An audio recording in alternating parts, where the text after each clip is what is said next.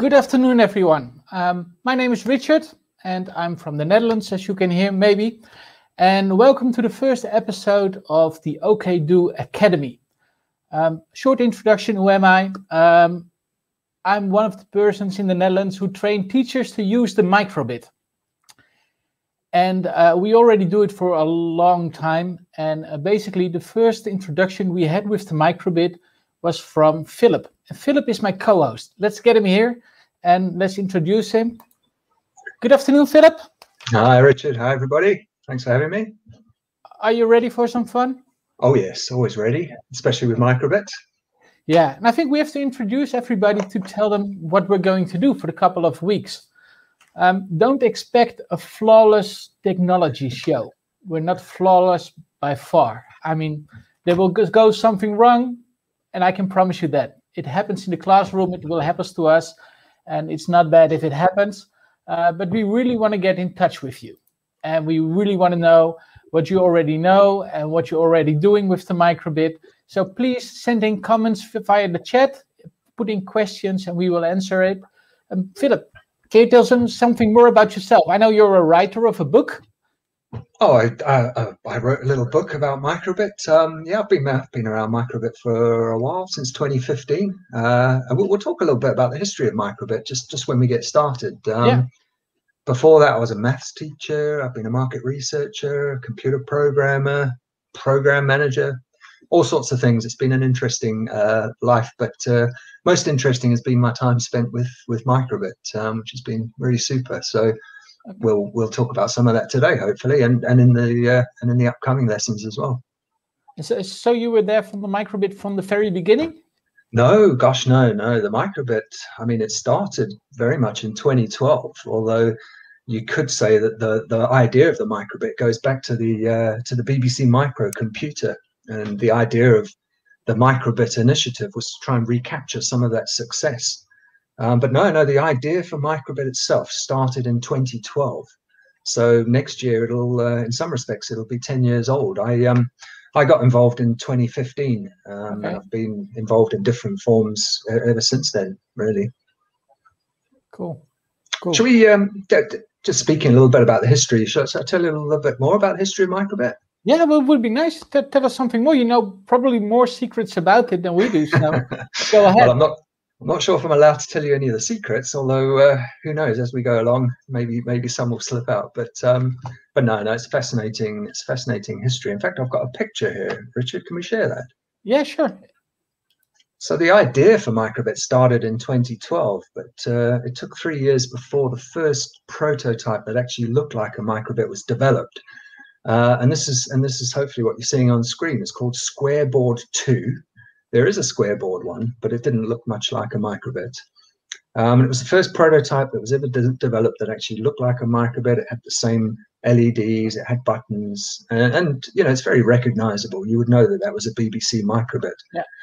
That was made back in 2015 in Cambridge, and only 36 of those were actually ever made. So if you have one of those in your collection, it's uh, it's probably worth a fair bit, to be honest. Um, so, just shall I show you some more interesting microbits, Richard? Yeah, tell me more. Yeah, I'm interested. Awesome. All right. Well, you know, the interesting thing is that during 2015, there were about 15 different mi- microbit prototypes that were made uh, before, you know, the one that um, that we all know and love was released to the public.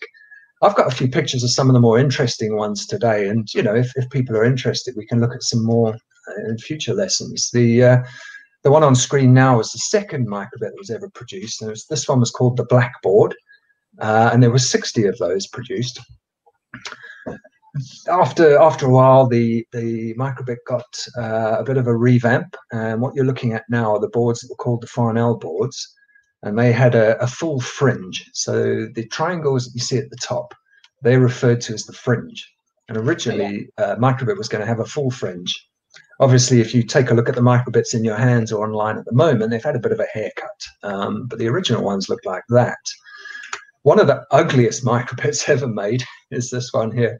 This was called the Anon board. We called it that because we didn't really have a, a good name for it. There was only 24 of these were ever made, and most of them were used in testing to destruction.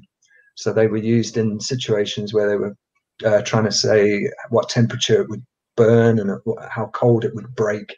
So there's not many of those uh, in the market at the moment. So they're really cool. If you've got one of those, well, you won't have one of them. They're extremely rare. There's probably only and about. Most of them broke, of course. Most of them broke. A few of them came out to the UK. Um, the BBC have got a few in their special collection, but there's only three people I know of who've actually got those. So uh, nice little uh, curio to have, possibly valuable later on. Um, but that's so that so that was all in 2015.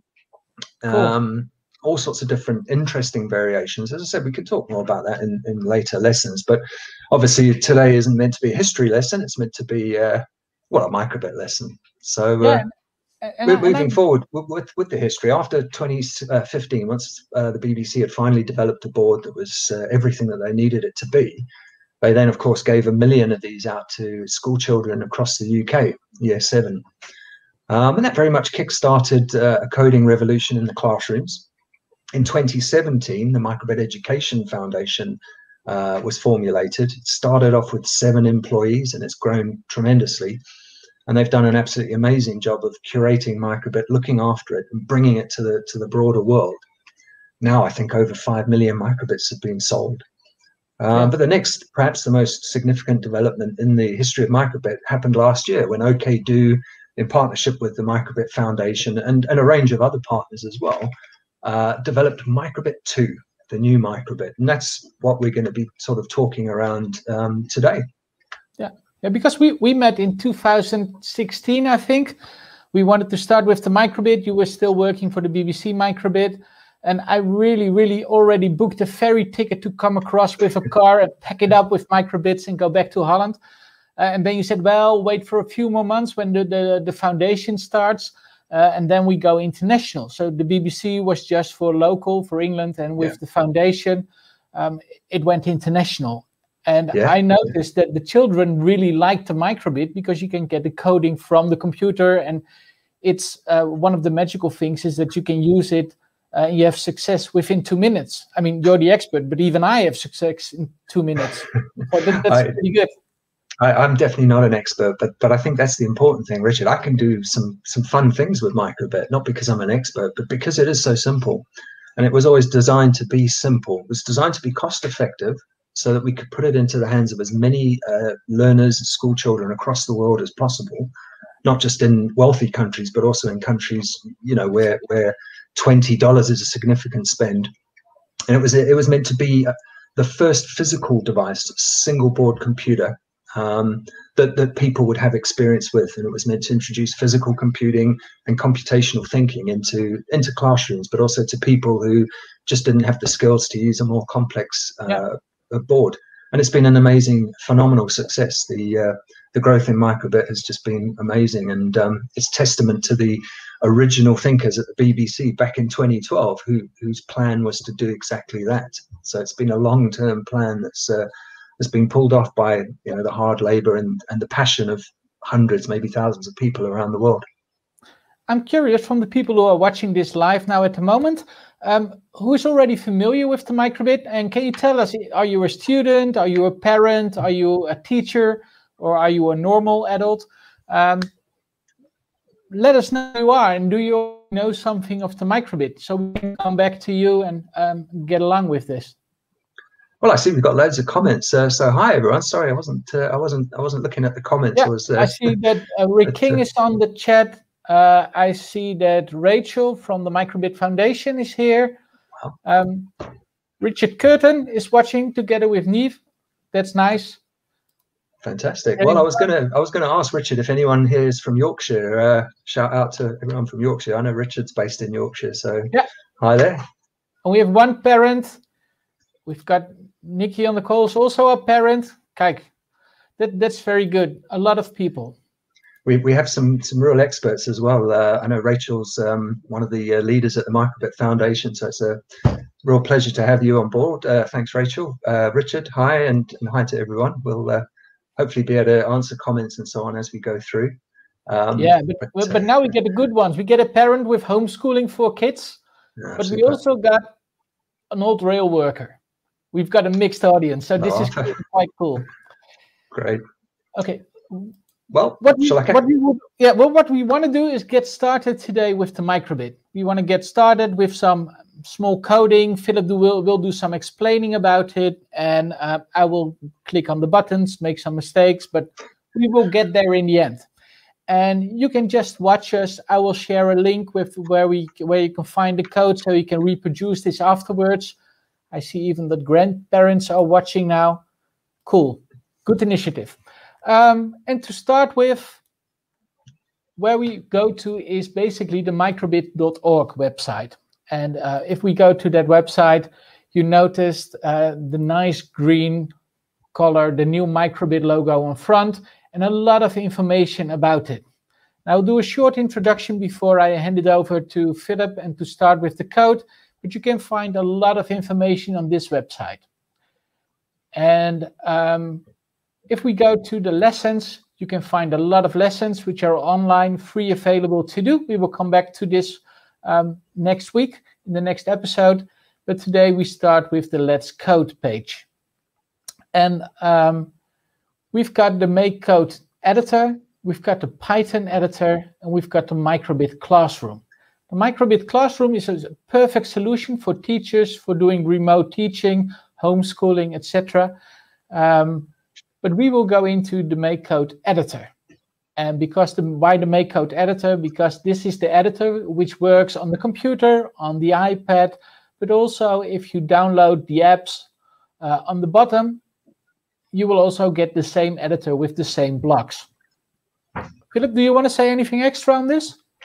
Well, um, I think you've explained that well, Richard. What I'd like to do is, Thank you. Uh, is take a my pleasure, and hi everyone who's joined. Um, well, I'd like to take a quick look at the microbit itself and uh, just just chat through some of its capabilities, um, if that's okay. Yep, sure.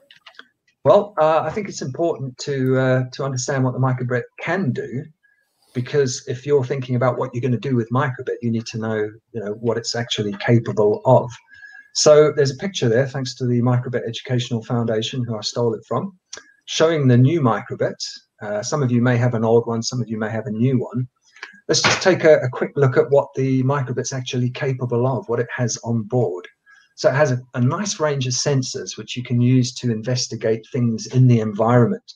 Now, this is kind of why we call microbit uh, a physical computer.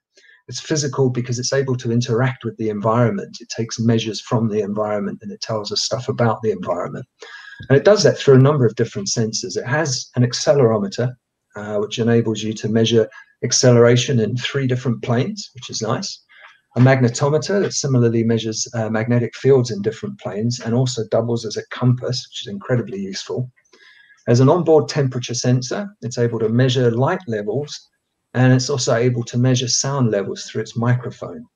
Now, it's important to understand this because when you start thinking about the things that it can measure, the, the things in the environment that's able to perceive, then you can start thinking up different ways and different exciting things to do with them. So, for example, you could measure the relative the, the relationship between the temperature and the light level. As it gets darker, does the temperature increase or decrease? Things like that. You could take a, a microbit, throw it out a window, and measure the acceleration don't try that at home, um, but you know you could. Also important to to microbits to understand the output options. So how can we see what's going on in the microbit? And it's uh, it has a built-in screen, the five by five matrix, which is adequate for showing letters and numbers, which is great. Uh, it has the capacity to play sounds, and that's been a really fun uh, extension that a lot of people are getting a lot of fun out of. It's part of the new microbit that wasn't present on the old one. It has wireless technology, so you can communicate wirelessly between a microbit and a Bluetooth device, uh, or you can communicate wirelessly between two microbits using the radio. It has input buttons. The microbit 2 has three of them uh, that you can use in your program, and it also has input output pins. Now, we won't talk much about these at the moment. They're, they're, they're something that we'll bring in, uh, we'll introduce in later lessons. But the I/O pins, the input-output pins, uh, create a great deal of opportunities for extending microbit. It also can be portable. It has a portable power supply, and you can also power it via USB. And of course, the most important element is the microprocessor on board that you can write programs for. And that's what we're going to do today. We're going to show you how to do that. Just comparing it to the old microbit, uh, it's it's similar and it's and that's deliberate. The um, the intention was to make sure that it, it's compatible as much as possible so that people who have an old microbit can still benefit and use it. Um, so the old microbit didn't have a microphone, it wasn't able to play sounds. It has a, a, a less powerful implementation of Bluetooth, one less input button, uh, a slightly less powerful microprocessor, and also the power supply was a little bit less, uh, provided a bit less power to your circuits. So with the new microbit, you get a lot more power to play with, which means you can uh, put a lot more stuff onto your microbit. So let's actually have a quick chat about that. The, we've, we've just chatted about the uh, capabilities of microbit and what happens on the microbit. And there's an awful lot you can do with that. But what's really important is the way that Microbit Educational Foundation have encouraged and nurtured uh, the community. And the community involves teachers, students, makers, and manufacturers. And all these people contribute something to the overall uh, microbit ecosystem. And one of the one of the, the great things is that manufacturers are able to design all sorts of cool and exciting add-ons for the BBC microbit. So you can power up your microbit in all sorts of ways. And I'd encourage you to have a look on the OKdo website and you'll see all sorts of great uh, manufacturers that offer some really cool stuff uh, that you can power up your microbit with. Uh, Kitronik, for example, do an amazing uh, bunch of add-ons. One of them called the Kitronik Halo, which we're going to be looking at uh, in the third lesson. Um, XinaBox, they've got some super uh, products relating to IoT and memory, which we'll be looking at in lesson four. And uh, uh, I've got to mention Monks makes. Uh, they just make some really, really cool peripherals as well. But there's loads of others, Seeed, F Robot. So have a look on uh, OKdo. Have a look at how many great options there are for powering up your microbit. Um, but, but, in the meantime, there's still plenty we can do with the microbit. And what we're going to look at today is um, it's just stuff that we can do with what's with what's on board.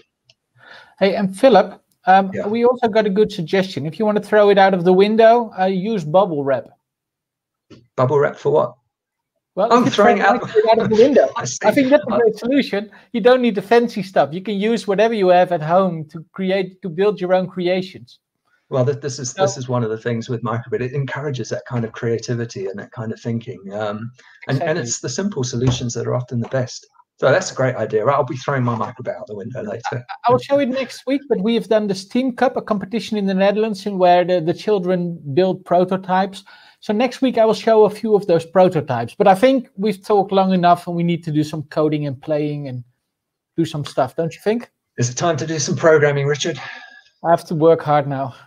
Well, no, hang on, hang on, hang on. Wait a minute, Richard. Wait a minute. I'm going You're, back. Yeah, well, if we're going to start programming, that doesn't mean we're going to start writing code now, does it? Mm, no. No, no, not ex- exactly. Oh. It's okay. said by it's said by some that as much as eighty or ninety percent of programming is actually done in the head. In okay. other words, typing in code is a very important part of the programming process. But before you type a line of code, you need to understand what it is that you're actually trying to achieve. What what is it that we're trying to tell the computer to do? Because if we don't know what we want the computer to do, how are we going to tell it what to do? So before we take a look at MakeCode, let's just have a little think about the program that we're going to write. We can then have a look at MakeCode, get get familiar with it. But uh, I think we should think about what it is we want to program first. So what we're going to do today is we're going to show you how to program a step counter. Uh, this is a device that you will wear on your body and it will measure how much distance you've traveled, how far you've walked based on how many steps that you've actually taken. So for us to program that, we need to tell the computer, the microbit, how to behave as a step counter. Yeah. But before we can tell the microbit, we, we kind of need to understand ourselves. How how would we do that? How are we going to make our little microbit? How are we going to make that into a step counter? Now, the answer to that question, in fact, there's loads of different ways that we could answer that question. But first and foremost, we need to understand the capabilities of the microbit. And we need to have a look at what it is that's on the microbit that we could actually use to, uh, to, to create that step counter. So thinking back to all the sensors that are on board, one of the things that we can detect is the light levels, couldn't we? The LEDs on the front here yeah. are able to detect whether it's light or dark. So in theory, True. Yeah. You could do that. You could make a step counter by putting the microbit on the bottom of your shoe. And as you walk, each time it goes dark, that would be a step. There are some flaws to that idea, some obvious flaws. For example, walking at night, it wouldn't work. But also, I don't know how long a microbit will last if you tie it to the bottom of your shoe. So it's a good idea. We'll, we'll throw that one out the window as well, though, I think. Uh, let's think what else could we do. Sound. Every time you take a step, presumably, unless you're a ninja, you're, you're going to make some kind of a noise. So maybe we could use the sound sensor and detect every time we put our foot down and make our step counter out of that. Yeah. I don't know though. What happens if you're walking next to someone else or you're walking next to a busy road? Yeah, too much too much sounds that won't work. That won't work either. So how are we going to build a step counter using microbit? Well, what else have we got? We could think about when you're walking along. You sort of walk along, and each time you, Oh, you you lift your foot and you put your foot down, and it sort of uh, it, it, it accelerates. Your foot starts, and then it's. So we're going to look at the accelerator. We're going to use the accelerometer to try and measure um, the number of steps that we take. And we're going to, well, Richard will will show you in a second one of the functions that we're going to use. So for us to build a step counter, we're going to use the acceler- accelerometer that's on our microbit. Um, but also before we before we start programming, let's think about what else we need to do. We need to count the number of steps, don't we? So when you start, obviously start at zero, you take one step, it's one, you take another step, it's two, another step, three, four, five. So we need something that will keep count of the number of steps that we make. Now, this is something that we'll show you in a moment. It's called a variable. And inside programming, inside computer language, when you want to keep track of a number that changes, uh, you do that in something that's called a variable. And, and Richard and I will show you how to use those in, in MakeCode in a little bit. But there's one last thing before we can start writing our program.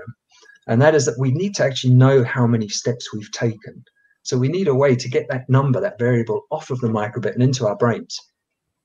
We, there's all sorts of options. We could pair our microbit with a phone and we could send the data from a microbit to our phone and look at that data as we walk along. That would be quite nice, actually. Um, but what we're going to use today is we're going to use the screen on the microbit, the, the, the, the 5 by 5 LED matrix, and we're going to use that to show how many steps we've taken. So now, now we know what it is we want to program. We're going to program a, a step counter. We're going to use a variable to keep count of how many steps we've taken. We're going to use the screen to show us how many steps we've taken. And we're going to use the accelerometer to tell us when we take a step. So now, Richard, now you can open up. Yeah, your am I allowed? And show everyone. buttons now? Please do. Thank you. Okay, we've got here the screen. I'll shortly explain the, um, the screen. Um, I start a new project and I will call it walking. And when I create it, I get to this screen. I've got the menu on top, which I will explain later. I've got a simulation on the left side, so you don't really need a microbit at this stage to code and to test it, etc. You do need it uh, later on because you cannot take your laptop walking along the streets. Um, Richard, Richard. yep. Sorry, I, I'm not sure that the workspace is showing up. It looks like it's still on the. I did. Now it's better, I think. Oh, by the way, while I've interrupted you, uh, hi, hi to Denmark. Hi, Ole. Nice to have you. Um, Orlando, is it waterproof? Um, well, there's two ways to, to find out. One would be to test it and put it in water. Um, but you've chosen the more sensible option, which is to ask someone. And no, when, no, it isn't waterproof. when Orlando does, can you send us a video? Yeah, no, it, it, it won't uh, it won't survive very long in water, but it will survive at very cold temperatures and very hot, high temperatures. It's a it's a very strong and robust um, piece of hardware, but uh, but not waterproof. Yeah, I got a Richard, question. from- Richard's from- asked how to get to the editor. Um, I think Richard, we're going to put a, a number of links in the comments section, aren't we? To uh, Yes, to I can do that people. right away. Um, if you go to uh, microbit.org, you will get there. Um, but also, if you go to uh, makecode.microbit.com, you will get there as well. But I'll put them in the, the comments later on. Okay, now I'm on the right screen. I've got a menu bar on top. On the left side, I've got the simulator. I've got the library with all kind of blocks. And I've got my work field where I can place all the blocks. And the blocks are nicely placed in English at the moment. and they're all collected on the same color. So you can see in the examples, if you need a purple block, I need to go in here. If I need to have a music block, I need to go in here. Well, let so me for, let me jump I'm in there, Richard. Yeah. Sorry, just to just to interrupt. The, the what what I think you should look out for while Richard's showing you the blocks is how these blocks link back to the capabilities of the microbit. So, so as we mentioned, there's an accelerometer and a screen, and, and these blocks are the things that you use to enable or to use those different elements of the microbit. So, uh, Richard. Yeah. Are we going to make the, the step counter? I think we I think we should. Uh, we know what we want it to do. So all we're doing now is translating that specification, that idea that we have, and we're translating it, if you like, into computer language. Um, but we're ready. Okay. Are you going to tell me, and I'm going to click? Let's do that. Sure. All right. So when we uh, when we were sort of designing our program, um, we realized that we need a variable. A variable is this thing that we're going to use that will keep track of the number of steps. So Richard's using the variable block to create a variable. Uh, and when and we're going to give it a meaningful name. You know, in the old days, they used to call variables X, Y, A, and B, but this is 2021, and we don't need to do that anymore. So Richard's going to call it something like step count or count, something meaningful. So when we look at our code later, we can read it and understand what we were trying to do. So we've created our variable. That's the one that's going to increase by one every time we take a step, but we need it to start at zero. So what we're going to do is we're going to take this block here that Richard's just pulled out. We're going to set that variable to be zero, and we've added it into what's called the on start block in MakeCode. Now, what will happen later on, we will put this program onto our microbit. And when our microbit starts up, when we first power it, the first bit of code that it's going to run is the code that's in the on start block. And the first thing, as you can see, that the microbit will do will be to set this variable, the step count, to set it to zero. All right. Yeah. Thank you, Richard. Okay, so that's the first part of the code done. Now, the second part's perhaps a little bit more complex. We need to infer when a step has been made, and we've we've agreed, or we spoke about it earlier. We're going to use acceleration. So, Richard, let's have a look at the options we have for the accelerometer. What, what can we actually do with it? Now, what Richard's got there is a block that's called the on-shake block. Now, what will happen? Your microbit, whenever you shake it, it creates an acceleration. Obviously, if I shake my microbit vigorously, it, it'll accelerate in all sorts of different directions. And when the microbit detects that it's being accelerated in different directions, it, it, it fires off this this thing called an event, and the event is this on shake block. Now, what that means in practical terms is when your program is running on the microbit and you shake it, code that we're now going to put into this shake block will execute, and it will only execute when we when we shake the microbit. So we're kind of assuming that as we walk along, as we place our foot down to take a step, we will create enough acceleration that will trigger this event block that will make this code run. Now we're going to have to test later and see if that actually works. But let's let's do that. Let's put uh, well, you've put that code on there. Thank you, Richard. Yeah, so what do we need to do every? T- oh, it's, not just, it's not just shake, but it's also getting the logo up, turning the logo upside down, putting the screen up, screen upside down. So you can do a lot of different things with the accelerometer. That's quite cool. Well, and and you know, I mean, later one one part of programming, we, we talked about thinking of the program in your head, and we, we're typing in the code. But a key part of programming is testing. Now, it might be that this program works better with one of these other options that you've identified there. Yeah. Um, but let's let's leave that for testing. So for now, yeah. we'll just leave it on shake. And when our microbit shakes, we will then do what, Richard? What are we going to do each I, time? I think I think we have to add a, a step, right, to our count. So if I go to change step count by one, it would go from zero to one. And if you, yeah, it'll it'll add one each time. So if you if you drop that in there, yeah. And the cool part is if you, you see the yellow line around the block, if I go closer to the shake button, you will see a yellow line popping up. And if I let go of the mouse button, it will click right in. So it clicks right into place.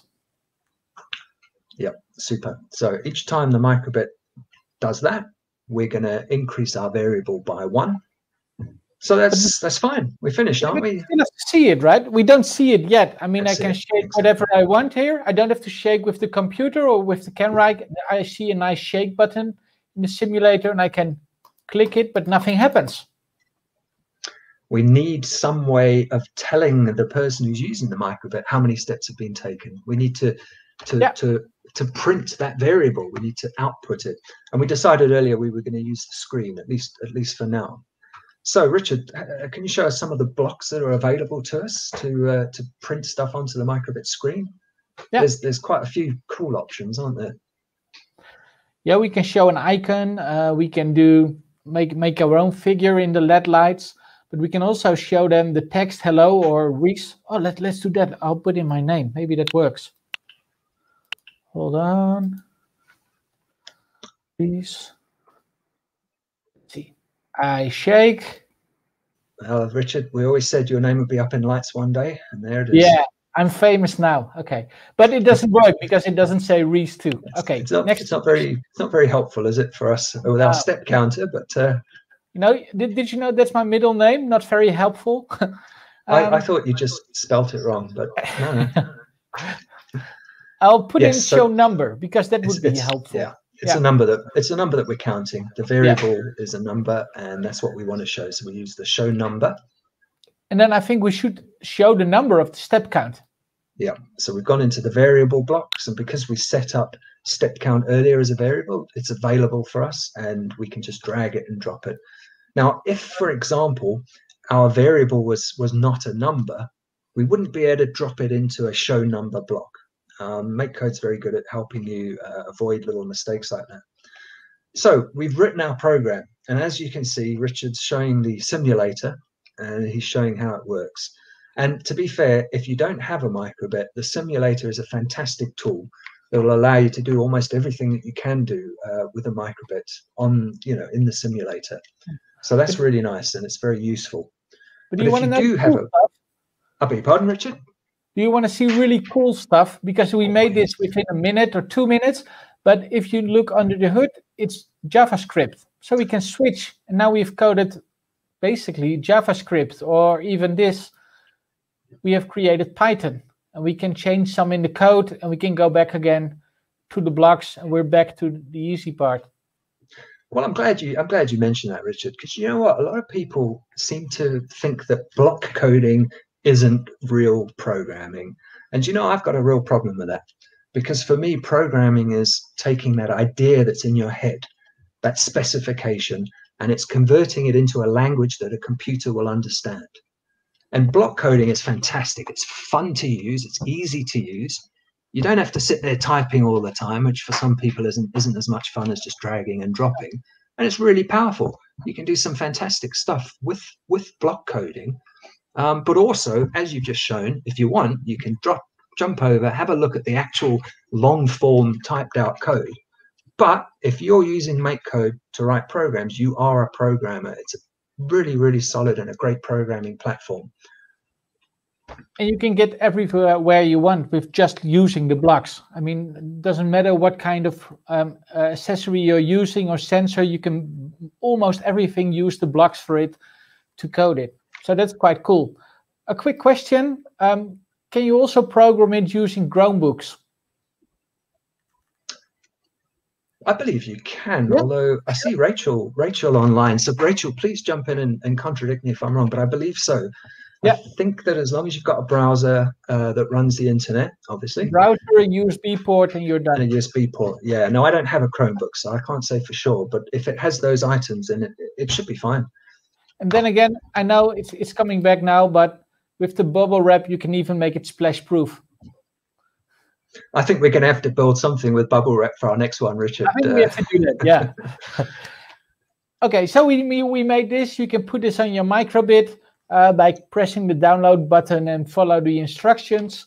Uh, and we basically have the basics of our first program. And of course, everybody can spice this up with your own code because you don't have to do this um, the way we created it. You can change it. You can, pu- can put um, um, sounds in it, for example, with every step you make.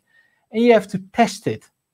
If you test it, um, uh, you have to go running. If I do a running for 100 steps, how many steps will there be on my counter?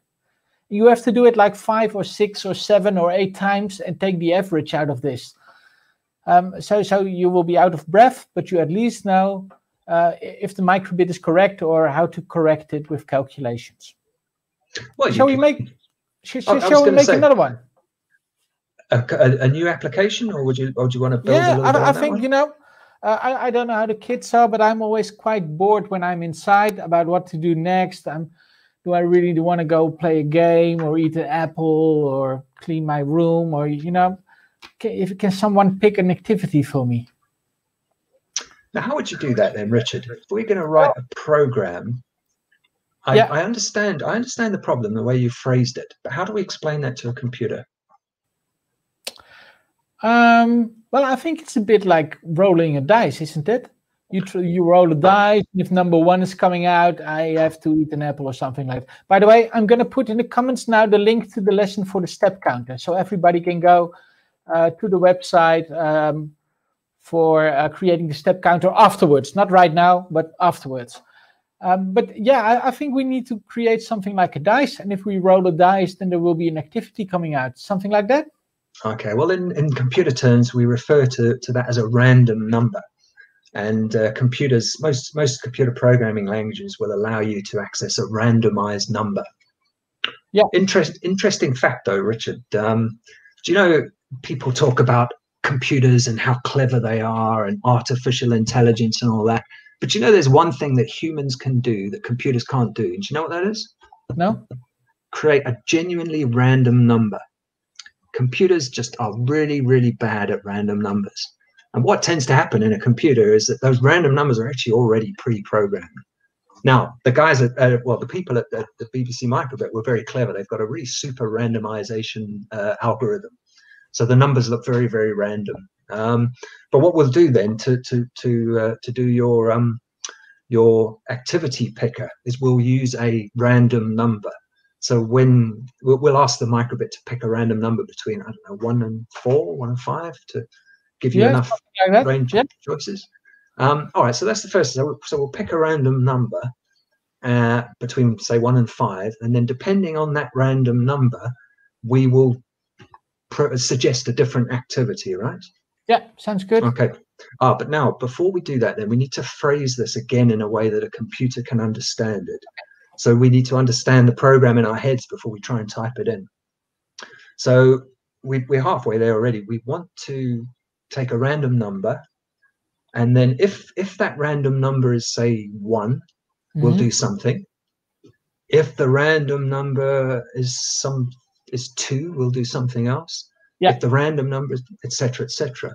And this is the type of logic that a computer will understand. And, and what we'll show you in a second is that it's, it's quite straightforward to program computers that will take an if statement, if a random number equals one, and, and perform an action if that's true. So if the random number is one, we will print out, do your homework, something like that. Yeah. And I'll, okay. I think we're ready to, to start doing the coding. Let's go. Um, I'm going to clear my screen, get a new project, call it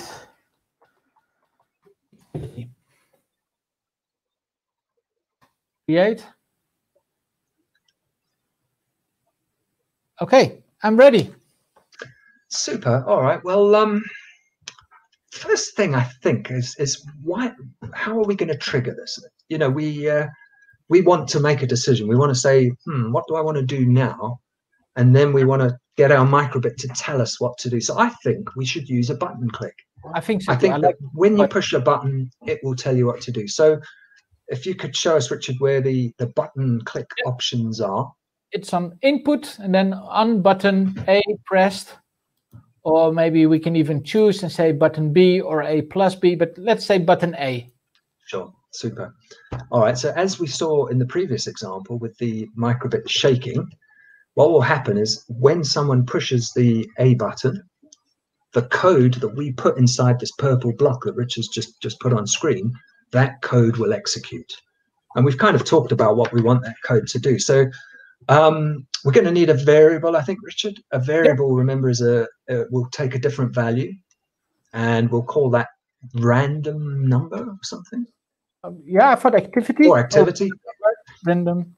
There's, there's no right or wrong answer as long as it's descriptive in a way that we, we will know what it means. Okay. Let's right, do super. this one. So when we click that A button, we would like that value to take on a random number between uh, one and four, one and five. One. I mean, we could make our own lives a bit easier just by making it three, if you like. Three. I like it easier. Okay. Question there from from Jazz. Hi, Jazz. Um, the I believe the the recording will be available uh, in its entirety afterwards. Yes, it's going to be placed on the Facebook's uh, site. We'll put okay. a link up, I guess, later. Will we be able to put a link? Oh, it will be on this spot where the live one is later on, so they can watch it back. Right, so we've we've set our variable to be a random number between I think that's one and three, but I can't even see on screen. It's too small for me. Yes, it's one and one, two, three. All right, super. So the next part is to say what to do in each of those circumstances. So for that, we're going to use the if then block, which I mentioned a moment ago. Now, what we want to do is we want to put a condition into the if. So if something happens, then do the following. Now, Rich has just shown you how to use the logic block, which is uh, the blocks that are available in the logic on the left. And we're taking out a comparator.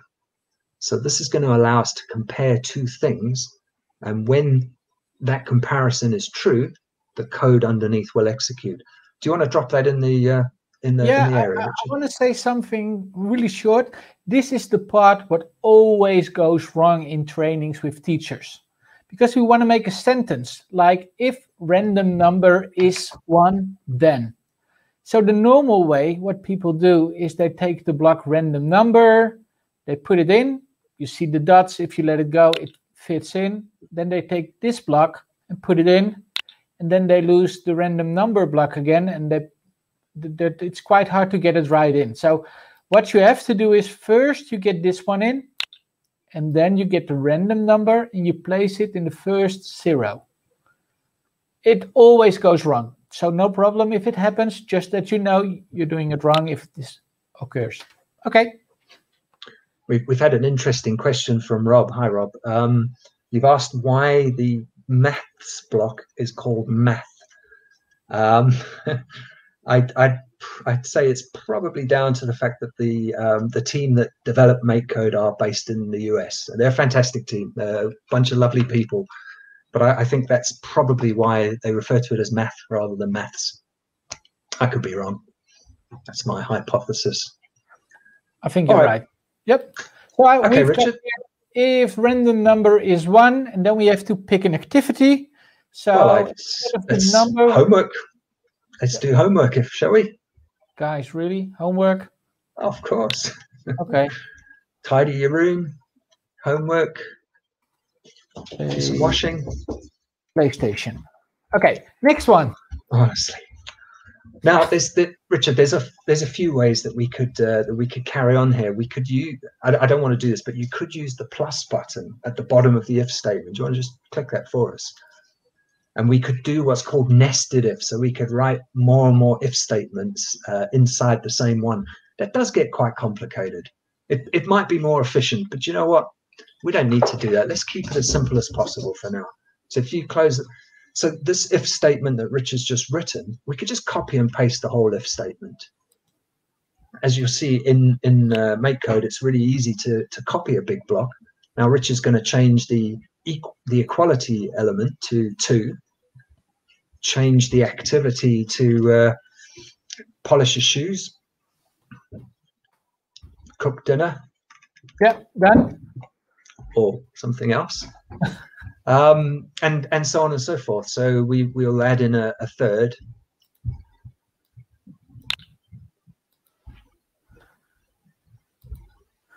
We could add in a fourth, a fifth, or a sixth.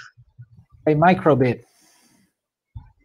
Play microbits. Well, you're going to have to write some games for it first, but uh, it, it is possible to write games for microbit. And in fact, well, yeah, we'll look at some of that in, in later lessons. We can test it, this on the left side just by clicking the A button, and it will say play. Oh, I should have made it shorter. Xbox. Okay, that's a short one, but play PlayStation is going to be a long one. Play. Don't, let's hope it doesn't end up on one, the random number. There. Oh, another Xbox. Let's do another one. Play. Ooh, exciting, isn't it? Microbit. Yay. So it's, it's quite easy to, to, to program this. And you basically have to think out loud what you want to do, code it, you can change it, you can put sounds in it. And it's it's quite good to do basically. It's it's not that hard to make this. And also for this one, um, we also have the lesson uh, to share. So I will put that one in the comments as well, so you can try this at home. Okay, it's in. And I think these two lessons are enough for this week. What do, what do you think, Philip? We have some questions we can still answer. I must admit, I'd love to. I'd love to go a bit deeper and um, improve the step counter. But perhaps that's a challenge we can we can put to people out there who are watching. Um, I yeah, mean, we've built the, the step counter is so basic, and uh, you you could actually combine the two programs that we've shown. Uh, yeah. And, and how about some, this one? Yeah. Rachel came up with a good idea because she said, "How about we make a, make a program to show an emoji to show how you're feeling?" Fantastic! That's a super idea. I mean, it's it's uh, what she said relevant for the Children's Mental Health Week Awareness Week. It could be a nice challenge for people to do at home with help of the parents or teachers or friends, and they can send us a video or um, uh, something else to show us what they have created, and we can show their solutions next week online. Well, that'd be super because not only would that be a really fantastic application, it, it would be doing our job for us. It'll make our lives much easier. So, uh, yeah. Shall we help them getting on the way, how to do it or how to think about it? I think so. Let, let me first firstly answer a question that Paul Andrew, hi Paul, thanks for joining, has just asked. Are there tutorials online? Well, I tell you what, there are tutorials uh, galore. Um, the Microbit Foundation have been building them for, for years and years now, and, and the community of uh, enthusiastic Microbit users as well. Um, so yes, there's plenty. Uh, get yourself onto the microbit.org web website, follow the links there, you'll find more than enough to get started and, and to go very far with. And, and if that's not enough, or if you want something more interesting, get on Google um, and, and just and just search, and you'll find an, a huge wealth of materials that uh, whatever it is you're thinking you're interested in, you should find lots of stuff that, that's relevant to that. Sorry, Richard, back to you. I agree. Yeah, I agree. Um, sh shall we help them getting started with the, the emoji um, challenge? I think so. Let's uh, let's let's work the program out in our heads and then leave it leave it for people to potentially type in code if they're interested. Yeah. I leave it up to you. All right. So we want to show an emoji depending on how we feel. Now, the output part of that is something that the microbit's very, very good at. Uh, I think Richard, we we just looked at it very briefly when you were looking at the display options. And there's there's a couple of different ways that you can actually show emojis. You can make your own up, which is great, or you can use a whole bunch of the pre-programmed ones that are that are already in there. Yeah, so show them quickly where they are. Yeah, go for it. Oh, hold on, wrong button. Um, when I go here into basic, I can go to this one, and I can just create an emoji. Let's do it like this button click. So that's my own. So, can, yeah, and I can also pick with button B some already prepared icons. So I can pick which one I want to, to choose so I don't have to make the drawing myself. That's for the lazy people like me. So we could uh, we could create a, an emoji uh, generator that will show a happy face when you're feeling positive and, and you want to interact and, and be with people. possibly. You click the A button and then you click the B button, and that will show a sad face. Um, but, but, that's a very simple idea, uh, and there must be some more interesting and exciting ideas. And as they say, if you want an interesting idea, ask a young person, and they'll come up with something exciting. So let's leave it out there and see what people um, what people can come up with. It'll be very interesting to to see what ideas there are, and you know we'll we'll try and show some off next week if um, if we get anything really good.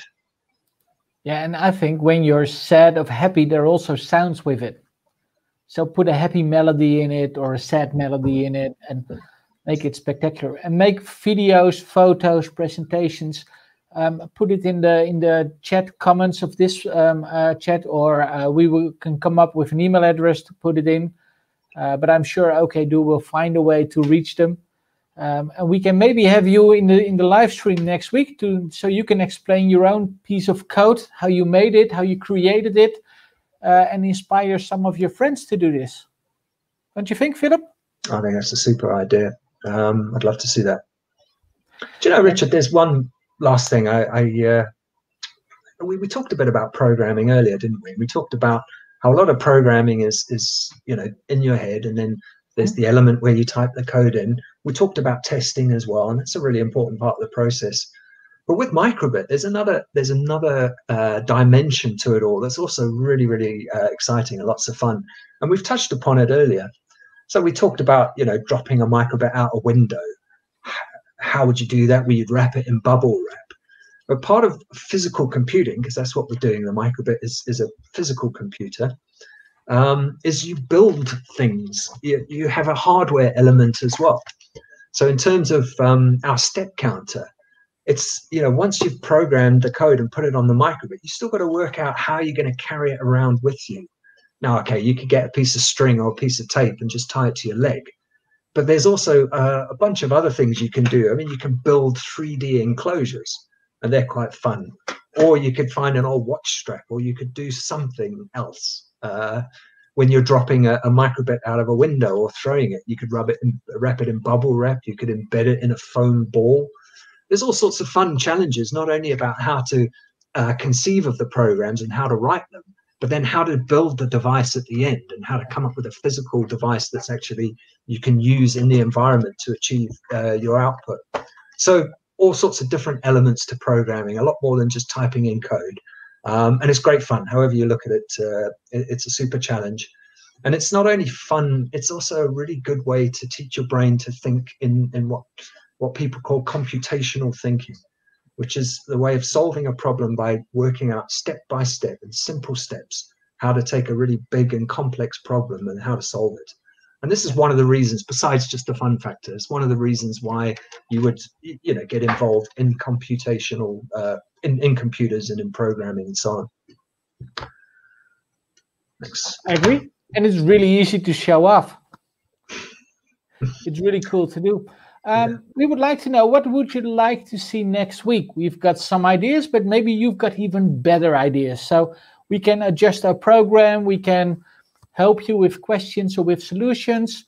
Uh, and otherwise, we will amaze you with some um, other activities for next week. If you well, don't yes. have microbit yet, you can still start practicing. You can still start using the code that we have done uh, today.